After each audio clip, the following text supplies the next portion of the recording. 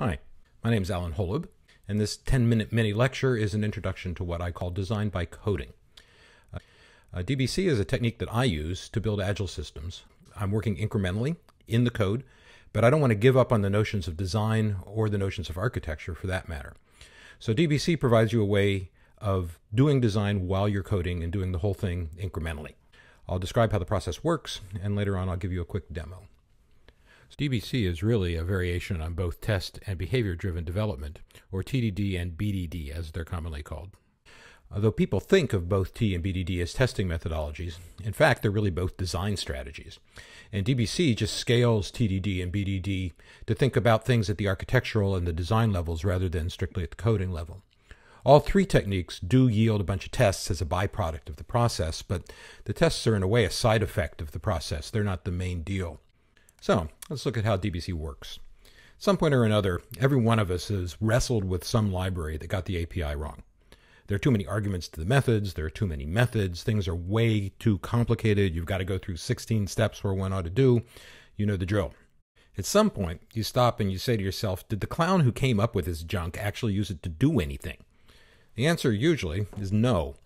The clown in question probably designed the system up front and he tried to guess everything that you'd want to do with it.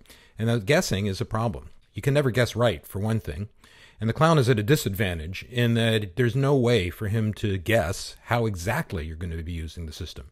So he designs it to be way more complicated than it needs to be, to cover every possible eventuality, and all of those possibilities just get in the way when it's time to actually use the system. So, instead of just guessing, it's much better to build the system around the code that's actually using it. That is, instead of trying to write the subsystem first, you write the code that's going to use the subsystem first. Once you get a usable interface to the subsystem, you can then implement it. And as you implement it, you can adjust that interface as necessary. So, you start out with a small chunk of a real story, piece of real code. And as you work, you invent the interface that you want to talk to. The subsystem's interface doesn't really exist when you write the code that's going to be using the subsystem. What you're doing is inventing the interface that you wish existed as you work, the interfaces are going to change. You're going to discover new things about the code as you add new pieces or as you modify things or as you learn more about the story, and that's perfectly natural. This is the whole point, in fact, of working the way that we're working, that we're coding to an interface which hasn't been implemented yet, so these kinds of changes are easy to do. Finally, since the story is driving the process, both the code and the design that we come up with is structured in a way that maps directly to the real world.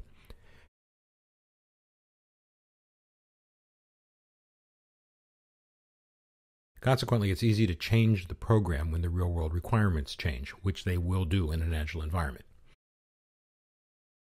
All right, let's look at DBC in action. This demo is a little abbreviated by necessity. We only have 10 minutes after all. However, you'll still see all the essential parts of the process in action. I'll be focusing on architecture, though, not on the minutiae of the TDD process that underlies DBC. And I'll use login as our case study, mostly because login is a small but interesting part of many of the real world stories that we all work on. I'll start by writing the story down on a small index card. This is a story in the literal sense of the word, a short narrative that takes place within a fictional milieu called the system metaphor. In this case, the metaphor is a guard a door with a box full of signature cards. All of the stories are set in the same milieu, which is one of the things that gives us a coherent architecture. I should say that a lot of people who do Agile incorrectly define a story as an alias for a feature request.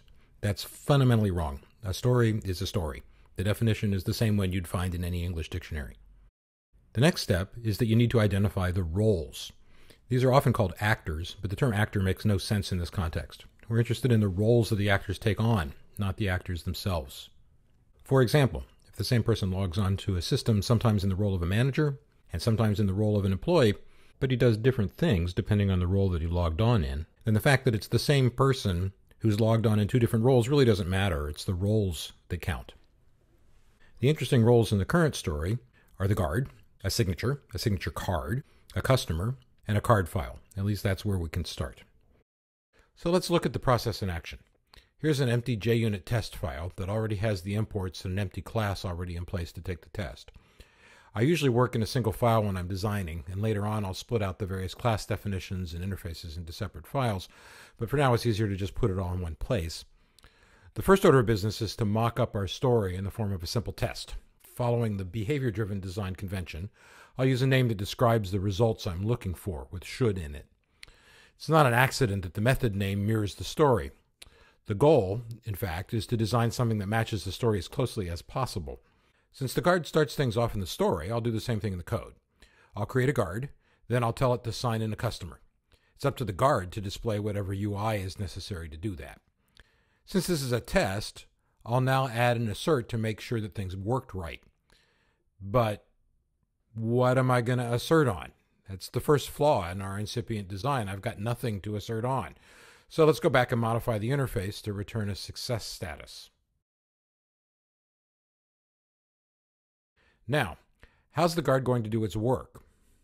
Looking back up at the story, he'll need to look up the user information in a card file, so let's create a card file and stick a user in it. It seems natural for the file to be a singleton, so I'll code it like that. I can always change my mind later if I get it wrong. As I'm working, I see another problem. A Boolean status isn't really good enough here because I have no way to test that the guard has logged in the correct person. More to the point, I know as a fact that I'll need some sort of login token to use with future requests, and I just don't have one here. The problem's actually in our story, so let's go back and fix that first by introducing the notion of a badge.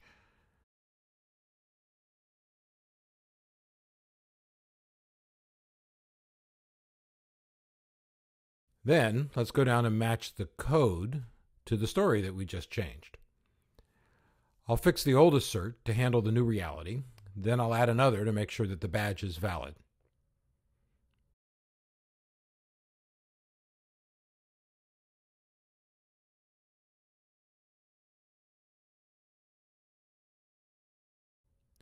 Now let's get it to compile. I need to create the most minimal version of the classes that we've just added. This is just rote code, so I'll do it using the miracle of time-lapse photography. There's one final issue to address here. The story talks about a signature card, and right now that card is buried in the card file where we can't see it. There's a maintenance issue, though. I'm assuming that I can create a signature card with nothing but a customer name and password. But at some point, I might want to add more information to the card. I'll solve that problem now by making the card explicit at the current level. Instead of passing the username and password into the register new customer call, I'll create a card and pass the username and password into the constructor for the card. That way, if I decide to change the requirements for a signature card later on, all I need to do is change that constructor and then I'm done.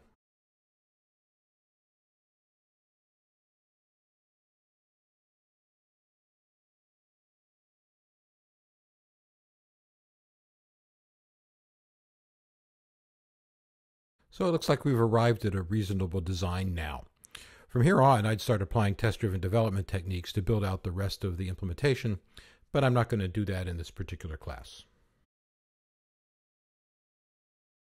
So let's summarize. You start with a story, a short narrative that shows the system in action. The story takes place in a particular milieu, a system metaphor, and uses actors in specific roles. Then I implement the story as code, using the roles as the object and class names, and choosing method names that make sense in the context of the metaphor. Because of that one to one connection between the story and the code, when, not if, the story changes, it's easy to change the code too. I'll work iteratively, fixing problems as they come up, and when I'm done, I'll have the minimal interface and set of classes that I need to implement the story, and more to the point, everything will work in the easiest way possible. So that's design by coding.